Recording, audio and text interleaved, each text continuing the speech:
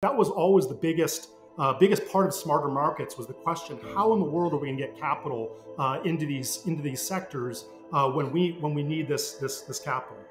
So, so I think the you know the final thing that, that, that I'd want to say about that smarter markets vision is it's always been one of these sort of blurry pictures or paintings that if you kind of squint at it or stare at it long enough, you kind of know what the future looks like. Um, but there's a lot of details to, to fill in.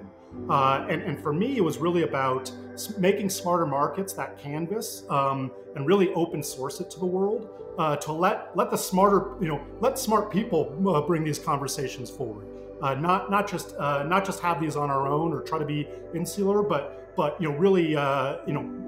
again, like those shots around heard around the world of Robert's Revenge of the Miners and and Jeff's uh, putting a price on carbon. Uh, I, I, think that's that, that, that was the point of this, the, the podcast, and and thanks to, to people like Jeff and, and, and Robert, it's really just uh, take on a whole life of its own.